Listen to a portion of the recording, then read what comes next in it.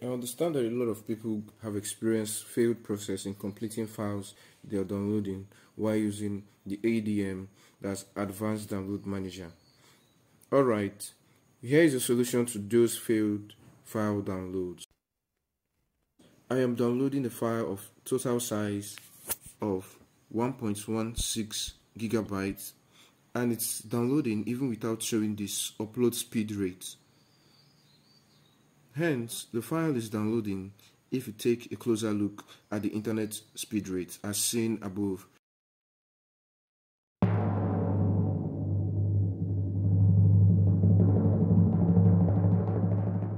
Shortly, the file I'm downloading just suddenly stops. All you have to do is to refresh the page of the download link and try re-downloading the file again. Click on refresh, tap on the file you're downloading just like this and watch closely. The download resumed. If you like this video, subscribe to our YouTube channel, like, share only on SoftGet.